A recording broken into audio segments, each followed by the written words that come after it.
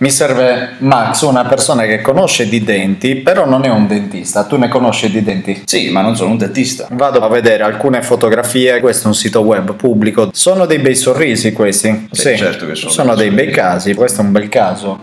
Ok, che ne capisce uno come Max? L'occhio esperto di un dentista vede che qui sotto c'è questa zona scura, l'osso che si sta riassorbendo. Hanno tolto l'impianto, rimesso un altro impianto, dove l'osso non è guarito. Sì. È un buon lavoro? Mi sembra un po'. non mi sembra un buon lavoro. E io, sono un- io non sono un dentista, però a me non mi sembra un buon lavoro. Questa punta qui dove dovrebbe chiudere la capsula, la capsula si trova a mezzo centimetro più in alto. Sì, zona di vuoto Di praticamente. vuoto. Stessa cosa qui, qua sigilla da questa parte la capsula, tra qua e qui c'è spazio, si va al cibo. Però è un bel sorriso, però non è sano. Qua sarebbe stato da innestare osso e mettere l'impianto dritto, questo dente qua si spezzerà. Perché è più facile senza avere qualcosa che lo sorregge che, che si distrugge col tempo. L'impianto finisce qua, ma la capsula inizia qui, vedi che c'è un gap di un millimetro e mezzo. Sì. Come se tu avessi un cappello largo così, Sì. entrano gli spifferi sotto. Questi sono 1, 2, 3, 4, 5, 6, 11, 12 denti con l'anima interna che è questa bianca, sopra c'è la ceramica, questo grigio qua. Quando la vai a cuocere a più di 1000 gradi, il metallo Si dilata. certo. Poi quando raffredda storce. Quando lo metti sopra gli impianti standard con abbatment standard che non sono passivi ma sono belli lunghi, non calza. A te sembra che qua stia calzata. La, La testa sta a destra, il cappello a sinistra. Non è simmetrico. Guarda qua, Simmetrico. quanto ha storto il metallo, neanche entrato, questo sta appena appoggiato sull'impianto. Magari anche lavarseli, tenerseli ben puliti. Guarda sotto, vedi che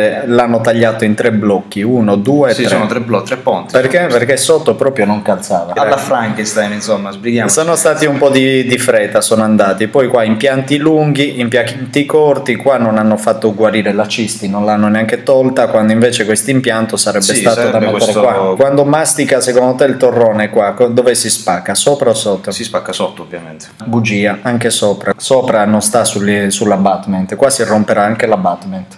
Si distrugge tutto. Ok. E chi chiamerai? Gli acchiappa fantasmi, ma i multi-unit abbatment che si usano per le riabilitazioni complete sono questi tronchi di cono che quando metto la protesi fa puff, Puff. scende, Scende perfetta, perfettamente. sono passivi, non sono lunghi, attivi e Calzano, limati in bocca, calzano. C'è un dentista, per esempio, questi sembrano dei bei denti, vado a vedere, per renderli paralleli praticamente sono, vengono limati a schifo, non c'è precisione, io ti ricordo che sull'abbatment serve una precisione di 12 micron, come un tuo cappello può essere l'imprecisione. Le protesi non calzano, oltre che se tu noti sono divergenti, Sì, sono sono- così. Come fa a calzare una protesi? Devi anche limare. misure un poco diverse, da- cioè a Sì. me non mi sembra di vedere. Ma non c'è precisione qua e quindi il lavoro protesico che vai a mettere, guarda, è divergente, l'hanno dovuto tagliare a metà per far entrare. Sì. Te lo faresti fare tu questa roba in bocca? No, A tua mamma gliela faresti fare? no. Perché no?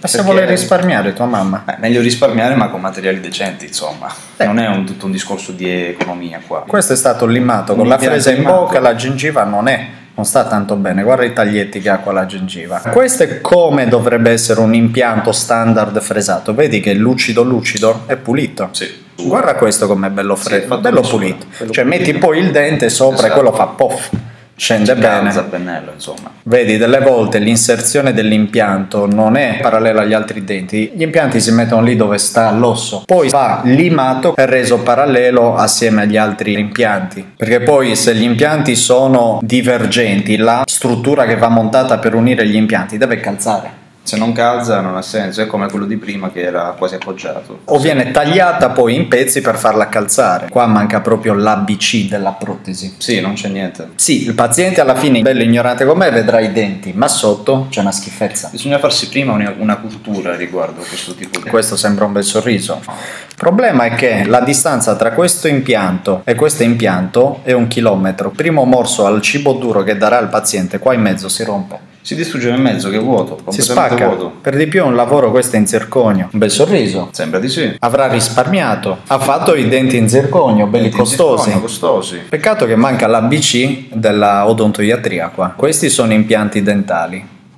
Queste 4,5, 1, 2, 3, 4 sono radici naturali. Sì. Non puoi mai unire impianti dentali con radici naturali. Le radici naturali hanno un ammortizzatore, si chiama legamento parodontale, che fa flettere i denti. Gli impianti no, sono fissi nell'osso. Dove si rompe se questo flette? Si rompe lì, ovviamente. Si rompe? superiore. E questo è zirconio. Zirconio è come il vetro, è fragile. Perché hanno fatto sto lavoro? O perché il dentista non lo sa? O perché per sbrigarsi in qualche modo, non, non saprei, guarda. Tu te lo faresti fare questo lavoro così? No, non- assolutamente no. Per un bel sorriso. È un bel sorriso, ma quanto dura? Sì. Cosa vedi qua di strano? Ora che ti ho insegnato un po' di cose. Beh, a parte che è tutto un po' asimmetrico, poi la parte centrale in basso e ovviamente il rischio di, di rottura.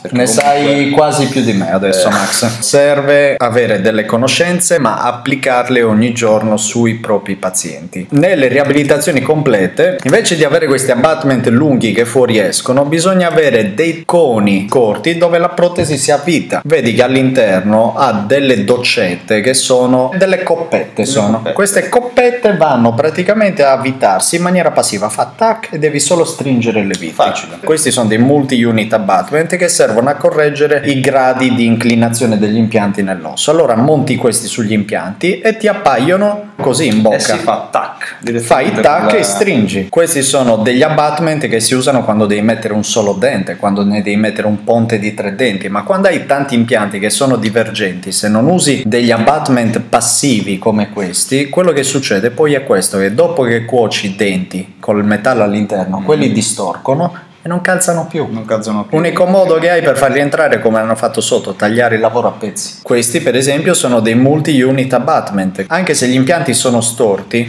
sopra gli impianti sono stati montati questi compensatori di inclinazione, chiamiamoli così, sono dei compensatori di inclinazione. L'impianto può anche essere storto, ma sopra c'è questo sistema qui che serve a correggere le inclinazioni degli impianti. Gli impianti possono anche essere storti, ma sopra se si montano i compensatori compensatore che li mette a livello. che li mette a livello, sono Sì, tutti sì, paralleli sì, quando vai a montare il lavoro. Ce ne sono di tanti tipi, ci sono da 30 gradi, 35, da 20 gradi, da sì. 15 In base gradi. a quello che serve. Va selezionato, Cioè, va selezionato.